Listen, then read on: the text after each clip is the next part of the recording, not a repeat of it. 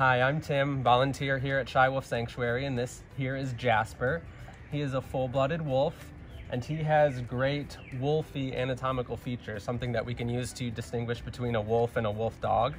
Uh, you can see very, very narrow chest. His front legs are very close together. He's got almost no head stop right here, whereas a dog would have a big bump in the front. A wolf's goes straight to the back.